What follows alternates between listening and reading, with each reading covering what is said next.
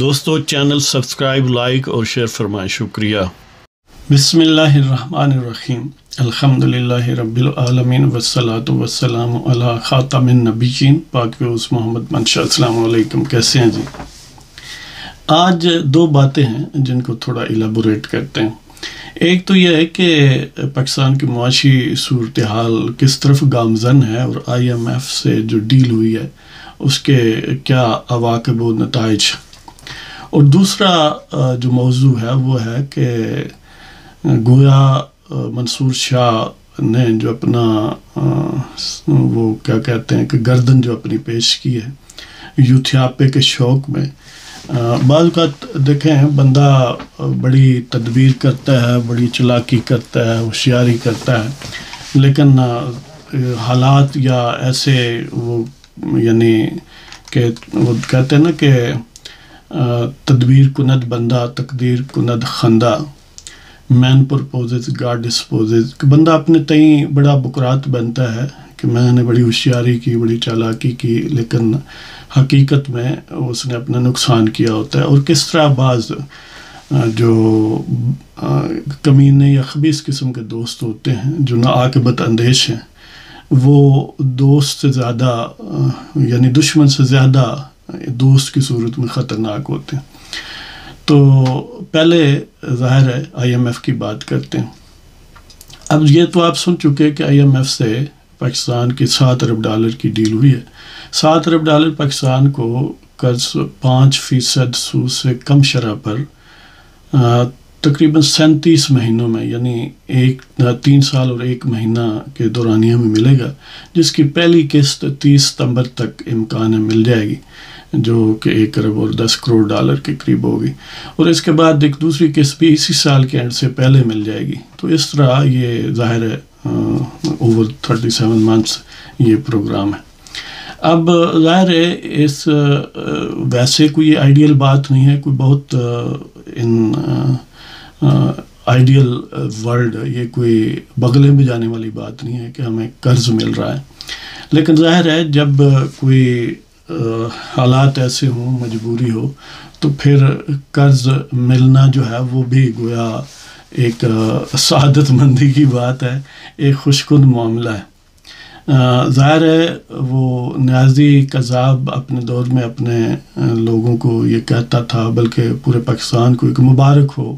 ہمارے ہمارا جو ہے معاہدہ ہو گیا اور ہمیں قرض ملے گا۔ اگرچہ وہ قرض کا آگے استعمال جو کرتے تھے، آپ جانتے ہیں کہ باہر سے کسی اور نے پیسے، جیسے کہ نیشنل کرائم ایجنسی برطانیہ والوں نے دیے، تو اس نے اس ڈاکو کو، ٹھیکیدار کو دے دیے اور ان یوتھ یا ججوں کے ناک کے سامنے دیے۔ لیکن کسی کو پرابلم نہیں تھا۔ اسی طرح اگر بیرون ملک سے مختلف انداز سے چندوں کی صورت میں یا قرضے کی صورت میں اسٹیٹ آف پاکستان کے ذریعے یا اپنے پرائم منسٹیریل کلاؤڈ کو اور اس پریسٹیج کو یوز کرتے ہوئے چندے وغیرہ لیے وہ اس سے ظاہر ہے، جائیدادیں بنائیں، زمینیں بنائیں، اس سے اربوں یعنی گھپلے کیے اور یہاں تک کہ چھوٹی چھوٹی چیزیں بھی بیچ ڈالیں جو توشہ خانہ ہے وہاں سے لے کر اور جاتے ہوئے وہ کہتے ہیں دہلی لے کر گیا۔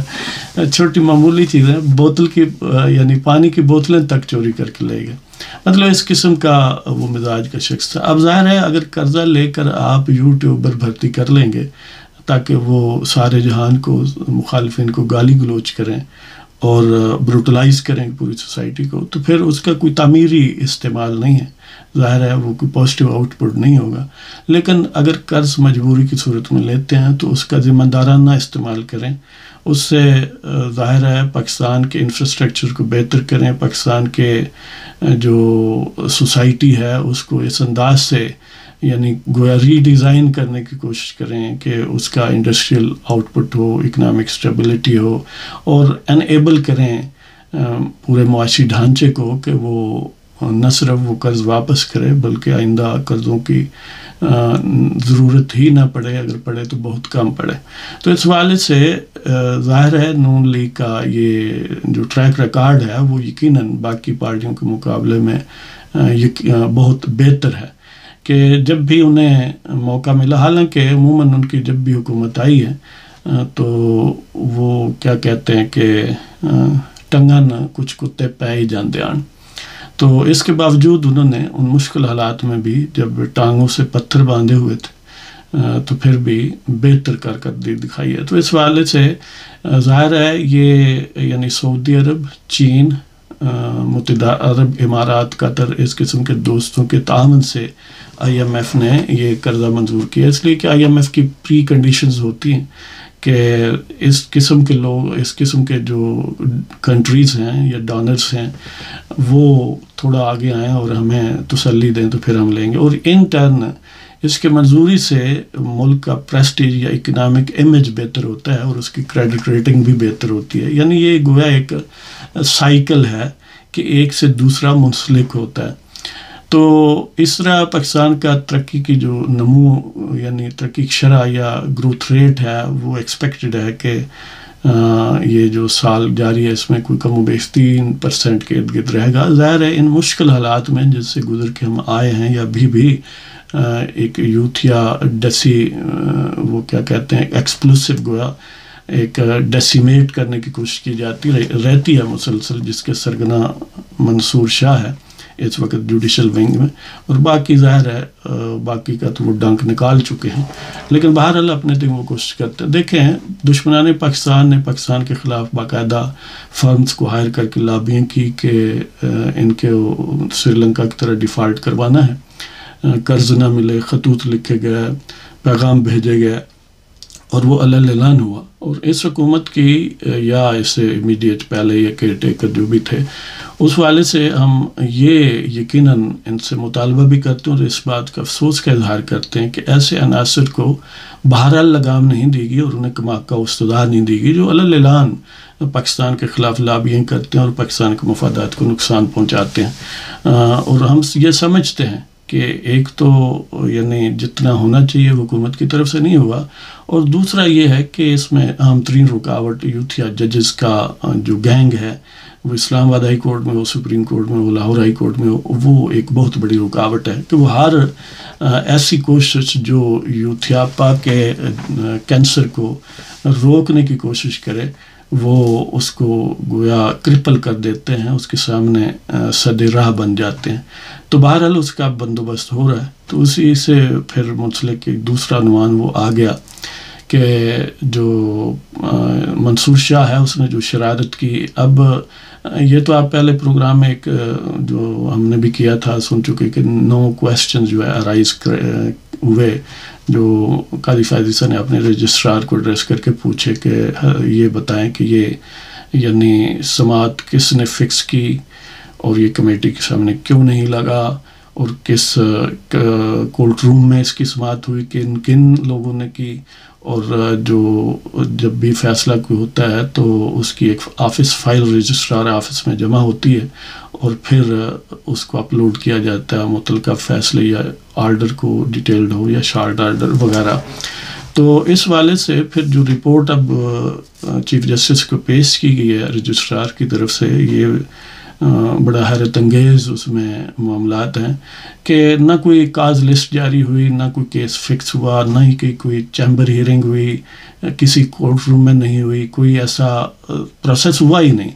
تو سمپلی ایک سٹاف ممبر جس کا گمان ظاہر لوگ یہی سمجھتے ہیں کہ منصور شاہ کے سٹاف میں سے جس کی بھی اس نے جس کو ڈیوٹی یہ سونپی، اس نے یہ بالکل قانون، قاعدے قواعد و ضوابط سے ہٹ کے یہ فراڈ کیا اور منصور شاہ ظاہر ہے الٹیمیٹلی اس کا ایگزیکیوٹر اور سرگنا ہے۔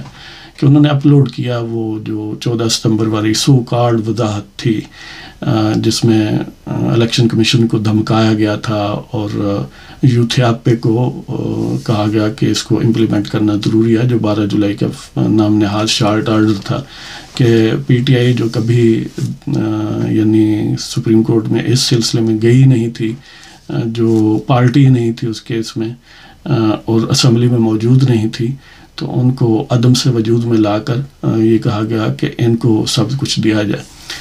وجہ یہی تھی کہ منصور شاہ کو بڑا یہ گمان اور بڑی خواہش تھی کہ میں ہر صورت چیف جسٹس بنوں۔ لیکن یہ خواہش جو ہے وہ کہتے ہیں نا، روٹی اگر بہت گرم ہو تو منہ میں ڈالنے سے منہ جل سکتا ہے۔ تو اس نے ٹھنڈا کر کے نہیں کھایا۔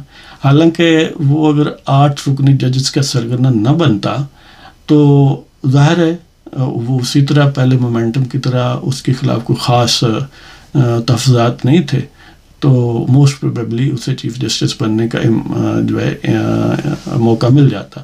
لیکن اس کے غیر ضروری پرجوش ہونے سے اور غیر ضروری طور پر اپنے آپ کو یوتھیاپا کا لیڈر بنانے سے اس طرح وہ سمجھے کہ میں اپنا دھڑا مضبوط کر لوں گا اور اس طرح حکومت کو بلڈوز کر دوں گا، تو ایسا ممکن نہیں تھا۔ تو بہرحال اس نے پھر دیکھیں کیسی عجیب و غریب حرکت کی کہ بالکل سریام ایک جیلی کام کر دیا کہ وہ عمل جو باقاعدہ کاز لسٹ کی صورت میں ہونا تھا پہلے کمیٹی میں آنا تھا، پھر اس کیس کو فکس کیا جانا تھا، بینچ بننا تھا، کاز لسٹ جاری ہونی تھی، پھر کسی کورٹ روم میں اس کی ہیئرنگ ہونی تھی پارٹیز کو نوٹسز وغیرہ ہونے تھے پارٹیز نے پیش ہونا تھا، تب جا کر اس کا کوئی آؤٹ کم ہوتا۔ لیکن نہ اس شخص نے سمپلی ایک کلرک کو کہا کلرک کیا نا، چلو اس کو جو بھی نام آپ دے لیں اسٹاف افسر کہہ لیں اسسٹنٹ رجسٹرار کہہ لیں۔ پرسنل سیکرٹری کہہ لیں سیکرٹری ٹو منصور شاہ کہہ لیں، کچھ بھی کہہ لیں کہ ایک مہا کلرک کے ذمہ لگایا کہ یہ بلڈوز کر دو یعنی پورے ملک کو الٹ کے رکھ دو ہماری دھمکی دے دو کیونکہ ہم یہ چاہتے ہیں۔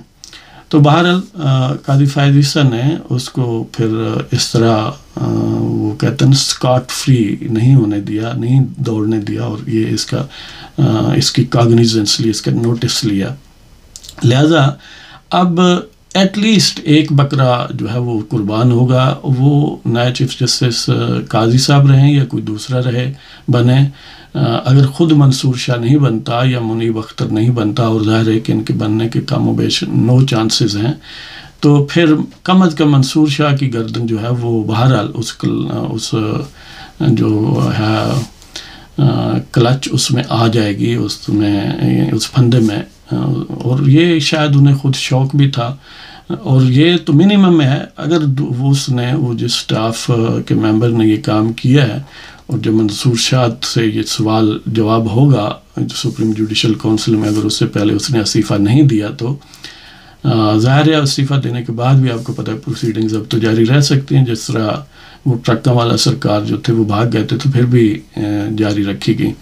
تو اس والے سے پھر منصور شاہ کی باتوں سے یا وہ خود ارادتاً کہہ دیں، تو اس میں ظاہر ہے باقی آٹھ ججز، سارے یعنی باقی سات ججز، ٹوٹل آٹھ، وہ بھی پھنس سکتے ہیں۔ یا ان میں سے جو بھی جن کا بھی نام آئے گا، وہ بھی پھنس سکتے ہیں کہ ان کی بھی کرم نوازی اس میں شامل تھی۔ ظاہر ہے اس میں منصور شاہ کے علاوہ منی بختر جو کہ یوتھیاپا کا بہت بڑا منارہ ہے جی۔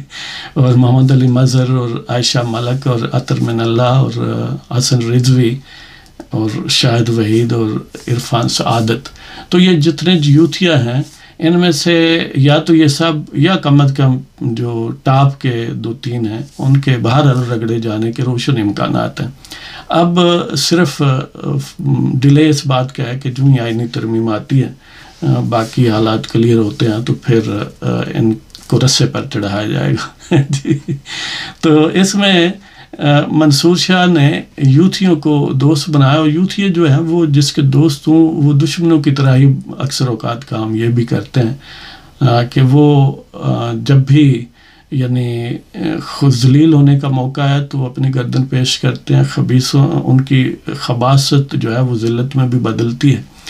اور جو جس کو وہ سپورٹ کرتے ہیں وہ بھی ذلیل ہوتا ہے۔ امیجن کریں۔ کہ اب منصور شاہ کو وہ نیازی کذاب اس نے بیان دیا کہ ہم اس کو، اس کے ساتھ ہیں، اس کو سپورٹ کرتے ہیں۔ تو اس کا مطلب یہ ہے کہ اس کو پٹے چڑھوا دو۔ حالانکہ تم جیسے دوست نہ بولیں تو زیادہ بہتر ہے۔ لیکن بہرحال منصور شاہ کو بھی اس چیز کا بڑا شوق تھا۔ کہ میں نے یوتھیا بننا ہے اور اس طرح یوتھیاپے کی طاقت پر میں نے چیف جسٹس بننا ہے اور پھر میں نے سب کچھ ادھر ادھر کر دینا ہے۔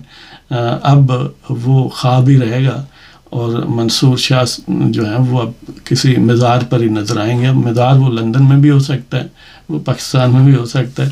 ثاقب نثار جو ہے وہ تو ڈیم کے کنارے بیٹھے ہوں گے۔ ہاں جی اب پتہ نہیں وہ ڈیم یو کے میں ہے یا پاکستان میں ہے، سنا ہے۔ کہ وہ اپنا جو انہیں مال غنیمت کے طور پر پاکستان کو نقصان کروانے، کرانے کے بدلے میں اور بہت سارے انعامات کے ساتھ ایک ملا تھا لندن میں اپارٹمنٹ۔ اب اس کے چکر لگاتے ہیں کہ اس کی ڈاکومنٹیشن ہو جائے اور وہ بھی گویا ایویسو ہے۔ تو بہرحال اب دیکھتے ہیں کہ کیا یعنی آئندہ ایک دو ہفتوں میں کیا ہوتا ہے اور الٹیمیٹلی یہ جو پاکستان کو سانپ ڈسنے والے ہیں ان ان کا زہر نکالا جاتا ہے پرماننٹلی یا نہیں؟ یا آگے کہ اگر نہیں نکل تو ظاہر ہے پاکستان پھر ڈسٹیبلائزیشن کی طرف جائے گا۔ دیکھتے ہیں۔ یہ اب دشمنان پاکستان جو ہیں وہ بچتے ہیں۔ یا پاکستان کو ابھی کچھ اور دن مشکلات کا سامنا کرنا پڑتا ہے۔ تو اللہ تعالیٰ بہرحال مہربانی فرمائے گا ہماری دعا ہے۔ آپ بھی دعا کیا کریں کہ اہل پاکستان اور پاکستان ہمیشہ پھلتا اور آگے بڑھتا رہے اور اس کے دشمن دشمن جو ہے ہمیشہ رسوا اور نامراد رہیں۔ وہ جس صورت میں بھی ہوں، وہ جہاں بھی ہوں اندرون ملک ہوں یا بیرون ملک ہوں، وہ کسی بھی یعنی خیلات میں ہوں، کسی بھی گیٹ اپ میں ہوں۔ تو آپ خوش رہیں جناب۔ خدا حافظ۔